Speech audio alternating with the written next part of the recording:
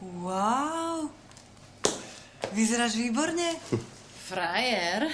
Díky, Andy. A máme ešte šalát?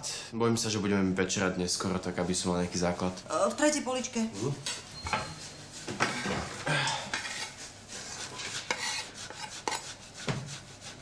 Alebo radšej nie, aby som sa nezašpinil. No, máš pravdu. V tom obleku vyzeráš výborne.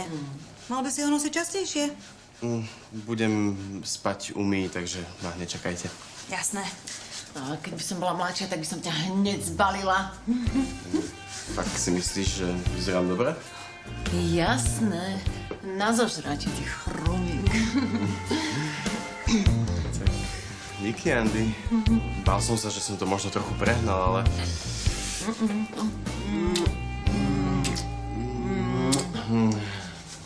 Díky.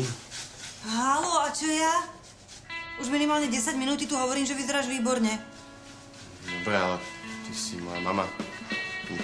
To sa neráta. Mohol by som sem dojsť aj vo vreci na zemiaky a tvrdila by si, že vyzerám úžasne. Nemôžem sa na teba spolahnuť. Majte sa. Papa. Ešte stále chceš mať deti?